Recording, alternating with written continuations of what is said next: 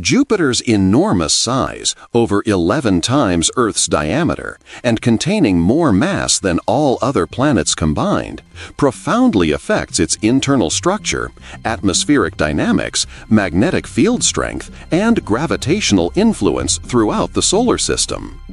Internal heat generation results directly from Jupiter's massive size.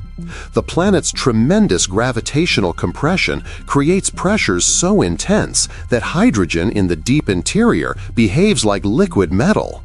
This compression generates significant internal heat, causing Jupiter to radiate about twice as much energy into space as it receives from the Sun.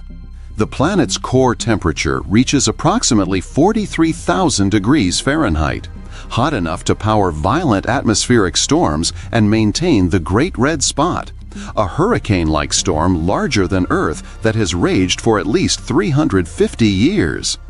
Gravitational influence extends far beyond Jupiter itself due to its immense mass. The planet's gravity shapes the asteroid belt, preventing rocks there from coalescing into a planet. Jupiter also acts as a cosmic vacuum cleaner, deflecting or capturing comets and asteroids that might otherwise impact inner planets like Earth. Scientists estimate Jupiter's gravity has prevented countless potential extinction-level impacts on Earth over billions of years.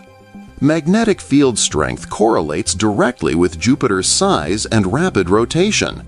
The planet spins once every 10 hours despite its enormous diameter, creating a dynamo effect in its metallic hydrogen layer that generates the strongest magnetic field of any planet, about 20,000 times more powerful than Earth's. This magnetosphere extends millions of miles into space, creating intense radiation belts that would be lethal to unshielded spacecraft and astronauts. Atmospheric dynamics benefit from Jupiter's size, which allows the planet to retain essentially all its original hydrogen and helium from the solar system's formation 4.6 billion years ago. The thick atmosphere features multiple cloud layers at different altitudes, with winds reaching speeds over 400 miles per hour, creating the distinctive colored bands we observe through telescopes.